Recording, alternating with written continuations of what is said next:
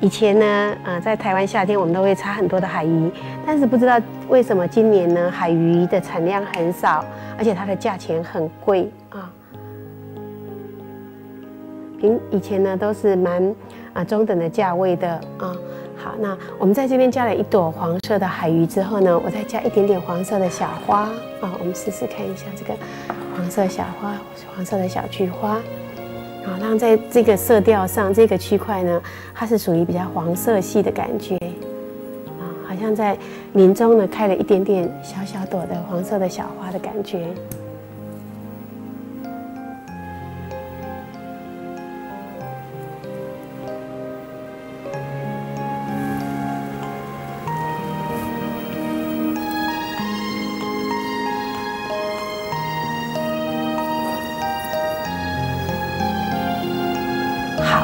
那我们现在再欣赏一下，看看它这个，呃，小花上去的感觉啊，在林中的感觉，还有黄黄色的海鱼的感觉哈。好，这边还有一点点小花。我在后段呢，虽然，呃，后段呢，我们也让它有一点点的呃色彩。好，那呃，接下来我就在布置这个。剑山的这个部分啊，让它两株。那这一株呢，比较表现比较，呃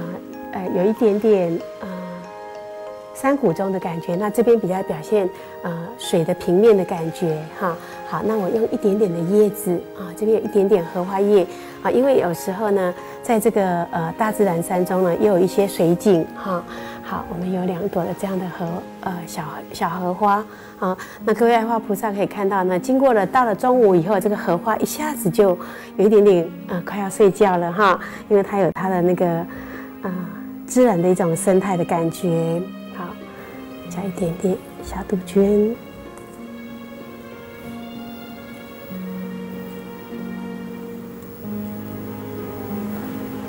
好，再一朵的小荷花。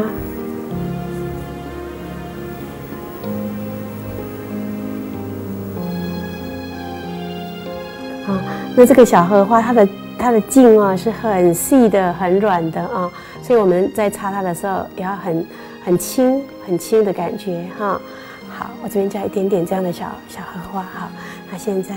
我们可以欣赏一下下它的感觉啊。那我同时呢，把这个旁边呢加一点点的这个呃青苔啊，这样的一个青苔啊，做一些呃自然乐器山中的一些景物的一个描写。啊，那我们把这个，呃，桌面上的花慢慢的减少以后呢，啊，我们来做一些的呃布置跟设计啊，看一下下，啊，那现在呢，我的转盘就可以整个转过来给各位爱花的菩萨们欣赏一下下啊，好，把这边稍微的整理一下下，好，我们等下再来整理啊，好，那现在呢，各位就可以看到整个作品的这个全貌跟感觉。啊，那当然，我们在插一件这样子作品完之后呢，我们可以加上一些很可爱的、很可爱的配件啊，比如说这样的一个桥啊，或者呢，像这样的一个竹篱笆，哈，都是很可爱的啊。这个也是很有趣的，那也是蛮好的一种人文的思想啊，就是把这个山中的景物呢啊，让它啊，感觉上是有一些人的一些思考的空间在里面哈。好，那我们我们试试看。它适不适合啊？摆摆看，好，我们看看桥有没有很适当的地方可以放啊。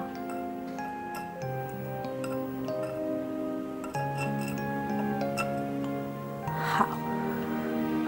当然今天这个桥是稍微有一点点大哈，嗯，好，那我们在这个海芙蓉上面呢，也给它加一些些的青苔啊，那它在感整个感觉上呢啊，就更有一种。嗯，自然的野趣的感觉，哈，好，再一小块，啊，我们可以把那整个意境的感觉啊，做一个这样的一个描述，啊，然后呢，我在上面有放了一些的仙鹤，啊，我们看一下这个角度啊，啊，好像真的是在人间仙境的感觉，啊，那我，呃，我可以在上面放一些仙翁哈，或一些小人物啊，比如说呢，我现在来试试看，摆摆看啊，给您啊欣赏一下下啊，比如说呢，啊，您可以看到呢，我手上有一些像这样的很可爱的，像这样的小牧童哈，那我们就可以呢，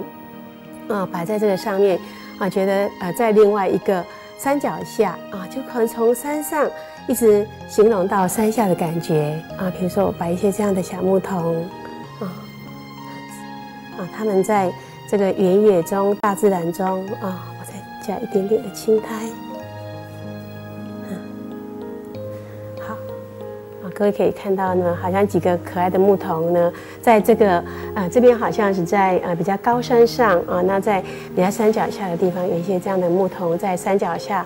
嗯。牧牛的感觉哈，好，那啊，各位爱花菩萨现在可以看到我手上也有这样的一些仙翁哈，像这样的一个仙翁哈，那好像是两个人在下棋啊，或者在弹琴的感觉哈。好，那我可以把它放在像啊刚刚这样的一个角度上啊，我们找到一个比较平整的地方啊。好，那这边还有一个啊，我再把它放一个在这个角落的地方。啊所以这样的一个意境跟空间的感觉，其实是可以慢慢的去琢磨的哈。然后比如说这样的有一个亭子啊，像我们刚刚讲，诗云台上啊，那寒碧洞前自采茶间啊，好像这样子啊，还有一个人在这边读书啊，我们就可以把这样的意境呢跟感觉慢慢的放啊，放到你觉得理想的位置啊。所以啊，其实在这个过程中呢，是真的也是很有趣哈。一只鹤，我们再试一下，找一个位置啊，再放一个仙鹤。好，好，那我们现在来看一下这个作品啊。好，我要把它转这边啊，因为这个松比较大。好，那我们从很高的这个山峰上的一个山景的一种描述下来，好，一直到。整个呃山涧中啊，然后呢，一直到呃更低的一个山谷山谷下面的一种描述啊，所以各位可以看到哈，像这样的一个呃情境的感觉哈。那我想呢，呃，自从在呃魏晋南北朝陶渊明的啊的诗开始啊，他说“缘溪行，忘路之远近，忽逢桃花林”哈。那几千年来，我想不管中西中外的人士。对于梦中的净土啊，那理想的国家，那理想的桃花源都是有追寻的啊。那我们知道呢，其实我们刚刚介绍到，现在很多的僧人，他们也是选择一种农产的一种生活的一个方式啊。那啊，像我们知道呢，有些人住在山里呢啊，那自己种茶。哦，那自给自自足啊，那在种茶中也得到很多很好的一个经验啊。我记得啊，有个圣伦法师啊，他就有一个自己的很好的一个茶园，带了很多的居士一起种茶、采茶，自给自足啊。那他也在制茶做茶中啊，得到很多的经验啊。比如我记得他有曾经说过哈，比如说像我们在啊茶叶在采青的时候啊，比如说我们在静置的时候，就代表像禅。禅定一样啊，然后呢，呃，在呃在炒炒茶的时候呢，就感觉上就是很禅悦的感觉啊。那在纯青的时候，他说就好像在修行中的宝刃一样啊。那在揉捻的时候，就是好像在提醒自己要团结啊。那在培火的时候，在啊烘干的时候啊，培火的时候就是在纯真啊。那啊烘干的时候呢啊，就像是在。啊，就是在最后练练道的过程哦，所以他在这个制茶的过程中呢，他运用佛法的生活结合在一起啊。那我想这也是一种啊，我们刚刚提到农禅生活中哈，因为我们要在行住坐卧中去修行，那期待这样的一个作品呢啊，也能带给你像世外桃源一样的呃人间净土啊。那愿此香华遍满十方，供养三宝。护法龙天，普熏众生，共入佛智。阿弥陀佛。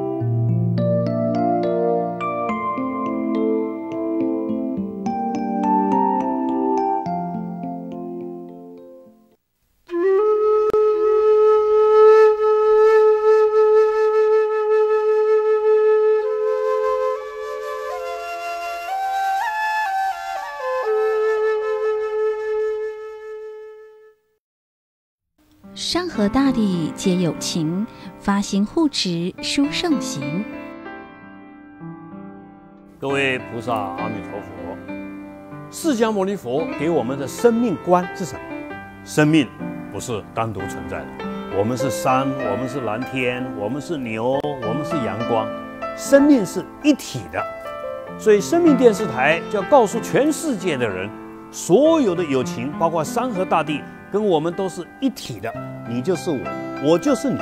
所以，打开生命电视台，让全世界的友情大家合为一体。也愿大家多护持生命电视台。阿弥陀佛。划拨账号：一九九六五二三二，一九九六五二三二，户名：生命文化基金会。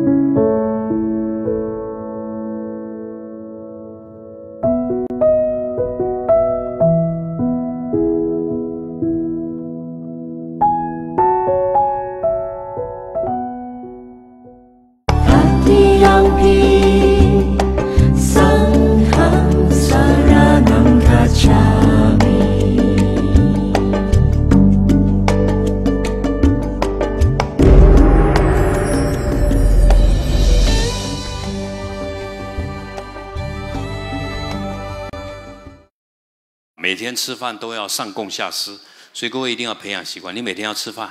要吃饭之前，早上跟中午供养佛、供养法、供养僧，就在供养了啊。然后呢，供养一些护法哦，韦陀菩萨、伽蓝菩萨护法。